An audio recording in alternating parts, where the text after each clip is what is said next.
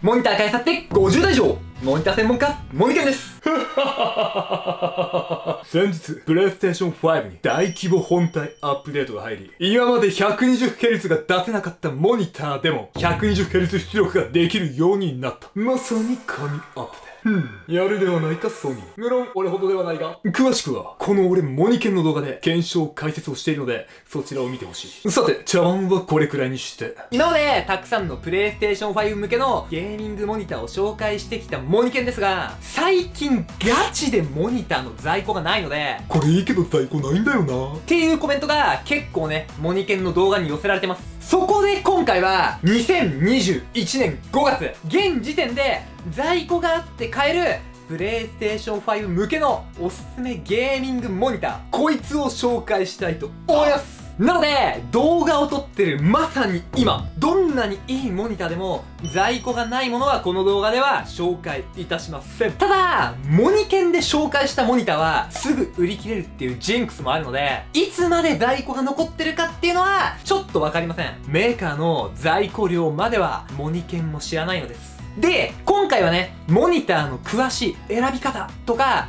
そういったことは割愛します。もう今までの動画でどちゃくそに話してきたので、詳しい選び方に興味があるっていう方は、モニケンのプレイステーション5関連動画っていう再生リスト、そちらをご覧ください。概要欄にも再生リストへのリンクを貼っておきますし、この動画も再生リストに入れておきます。ながらみで再生してるだけでも、プレイステーション5向けのモニターの知識が、もうググッとアップすること間違いなし。そして今回紹介するモニターは3パターンに分けてプレイスタイルの違うゲーマーにぴったりのものを見つけてきました。1つ目は 120Hz が出してコスパの高い FPS 向けのゲーミングモニター。2つ目は 120Hz が出せてかつ IPS パネルで映像も美しいマルチに使えるゲーミングモニター。3つ目は 60Hz しか出せないんだけど 4K に対応した映像美特化のモニター。この3つを紹介したいと思います。ではでは、早速順番に紹介していきましょう。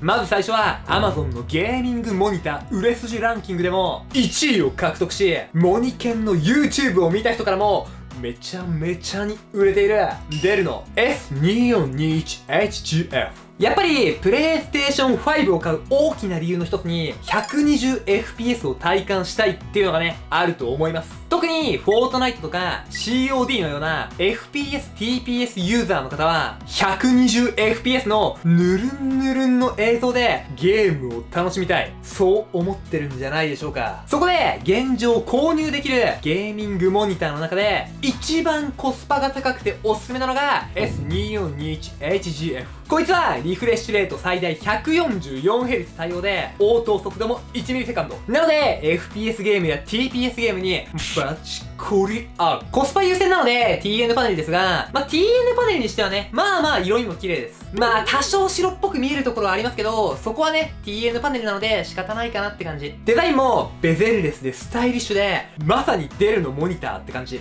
グレートですよこいつは。あとドット抜けが一つでもあれば保証対象にになるっていうのも非常にグッド。ただし、スピーカーが搭載されてないっていうことだけは注意しましょう。外付けスピーカーを別途買うか、イヤホンやヘッドセットットをつけることで対応できます。お値段は22,800円ですが、結構セール対象になって安くなるので、Amazon セールの時なんかはチェックしておきましょう。あと、デルの公式通販サイトでも結構安くなることがあります。モニケンで実機レビュー動画も出してるので、よかったらそちらもご覧ください。そして、FPS ゲームはやりたいけど、他のゲームをやる時のために、色味の綺麗な IPS パネルがいいっていう方には少し価格は上がるんですが ASUS タフゲーミング vg2 599がおすすめ IPS パネル搭載で色味が綺麗なのでグラフィック重視のゲームも美しい映像でプレイできます。もちろん最大リフレッシュレート 144Hz で応答速度も 1ms なので COD やフォートナイトのような FPS、TPS ゲームにもバッチリ対応モニター自体も高さ調整や首振り、回転など、スタンド性能が非常に優秀で、使い勝手がめっちゃ高いです。お値段がだいたい3万円なので、ちょっと高いんですが、それに見合った性能は持ってますね。スピーカーも音質はまあまあって感じなんですが、一応搭載はしています。このモニター、ちょっと前までは、プレイステーション5で 120Hz の出力ができないっていうね、致命的な問題があったんです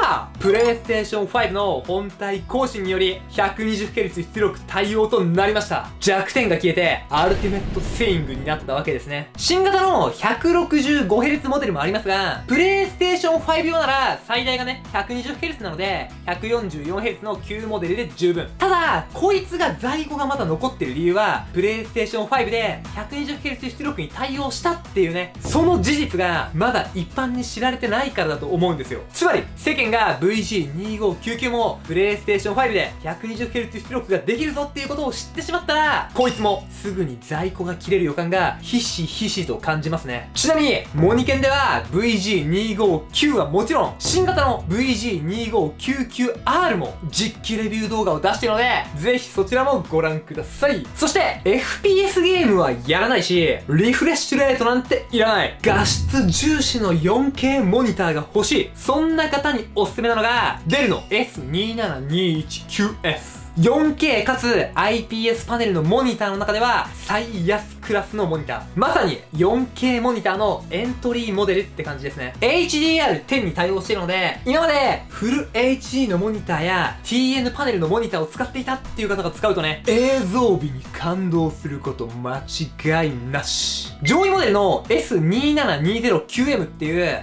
ペックマシマシ強強モニターもあるんですが、USB ハブ機能とか Type-C での接続とか、どっちかっていうと PC 向けの機能がモリモリになった感じなので、プレイステーション5専用って考えるなら S2721QS で十分です。スタンド性能も優秀で、高さ調整や首振り、回転など、かなり自由に動かせるのも嬉しいポイント。Amazon セールにはなりにくいんですが、デルの公式通販サイトではたまにセールになってるので、そちらをチェックしてみるのもありよりのありべってるち。概要欄にリンクを貼っておきます。ちなみに、現時点で Amazon のゲーミング以外のモニターも含めた売れ筋ランキングで1位という名機。デルさん、やりますね。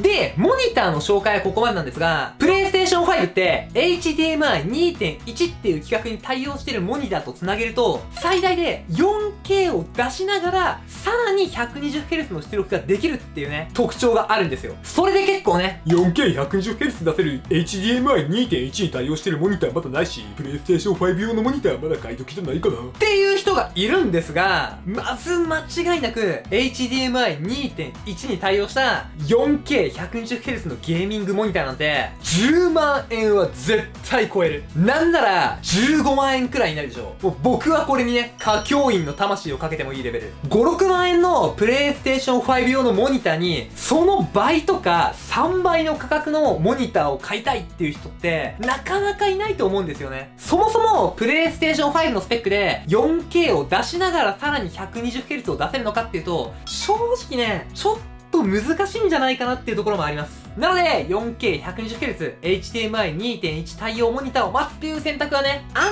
りおすすめじゃないかなって思います。予算15万円ある人なら考えてもいいと思う。ちなみに、現時点で 4K120Hz 以上に対応したゲーミングモニターは、日本での発売日が決まってるものはないです。というわけで、2021年5月時点で、今買えるプレイステーション5用のゲーミングモニターのおすすめを紹介させていただきました。モニター超絶在庫不足の中、在庫を確保してくれるメーカー様にはもう感謝しかない。ありがとう。モニターメーカー、本当にありがとう。それしか言う言葉が見つからない。とはいえ、あくまでこれは動画撮影日時点の在庫の話なので、いつ売り切れるかはわかりません。この動画で紹介したモニターの在庫が切れたり、現在在庫切れの有能ゲーミングモニターの在庫が復活したり、新たに素晴らしいモニターが発売されたりしたら、またその時に買えるおすすめのプレイステーション5用ゲーミングモニターについて動画で紹介したいと思うので、モニケンチャンネルを要チェックやそんな感じで動画を終わらせていただこうと思います。最後に、この動画が良かったな、参考になったなと思った方は、チャンネル登録、高評価、よろしくお願いいたします。